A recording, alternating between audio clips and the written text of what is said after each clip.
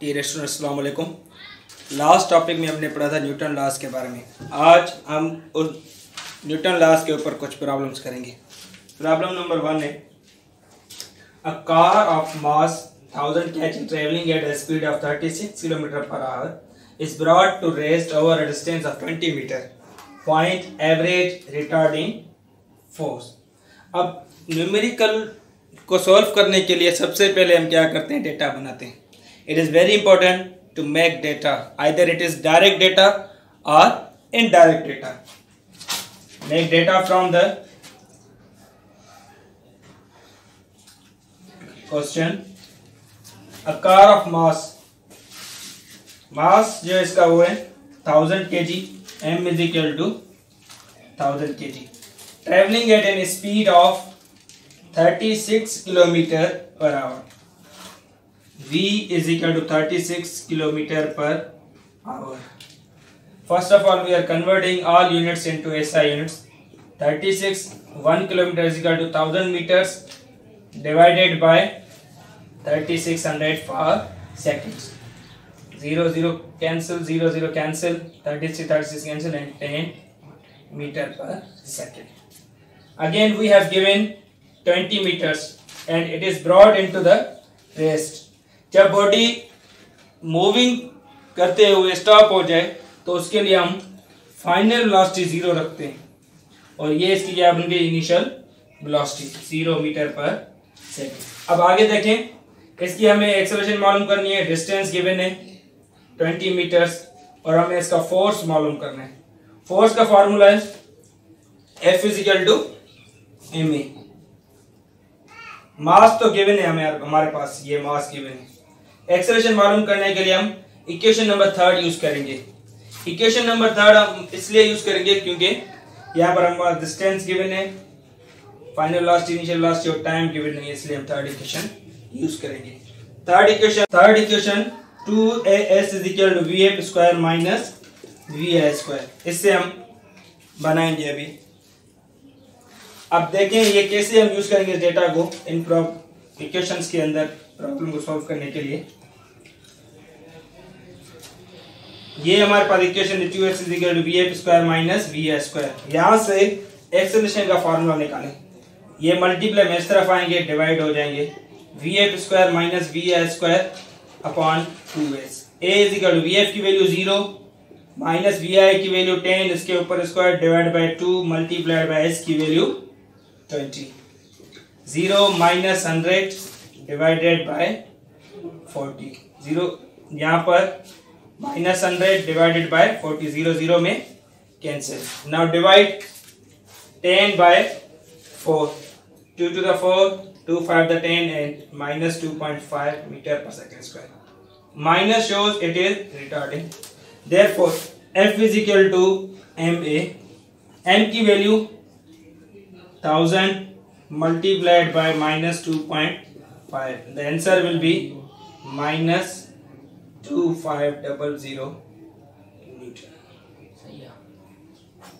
अब दूसरा क्वेश्चन देखें a force of 12 newton a force of 12 newton gives an acceleration of 4 metre second square अब force हमारे पास सबसे पहले डेटा बना है इसकी कि फोर्स गिवन है हमारे पास। फोर्स की वैल्यू है 12 न्यूटन वो एक्सेलरेशन हमें दे रहा है 4 मीटर पर सेकंड स्क्वायर अब आप बताएँ कि भाई, अगर acceleration four metre per ten metre per second square हो तो उसके अंदर ना मास होगा। अब देखें यहाँ पर, सबसे पहले हम क्या करेंगे, इस डेटा में से मास मालूम करेंगे। यहाँ से मास का formula F upon A F की value twelve divided by four answer is equal to three kg. Now, for second, is equal to m multiplied by a.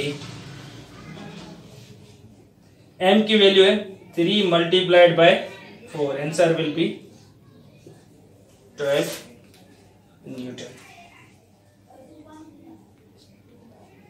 अगर यहाँ पर आप वैल्यूज़ चेंज कर लें, फिर भी इसे आप मालूम कर सकते हैं this is final solution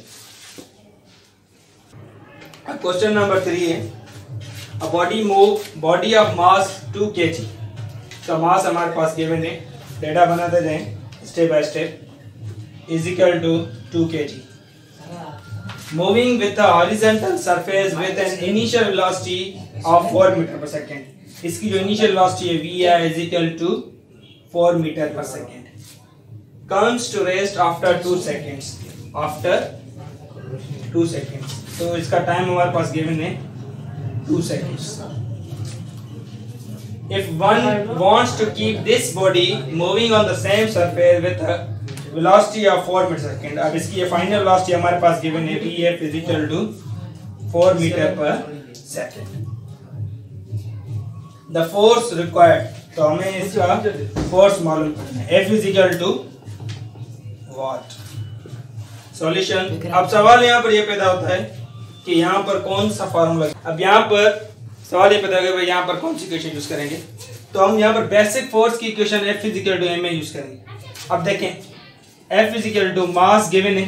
लेकिन एक्सेलरेशन के लिए मालूम करने के लिए हमारे पास initial velocity final velocity time है। तो यहाँ पर हम फार्मूला यूज़ करें एक्सेलरेशन का V F minus V I upon T values put करें अभी इसके अंदर। F is equal to M की वैल्यू क्या है? Two K G from data V F की value four minus initial velocity with an initial velocity of 4 meter per second.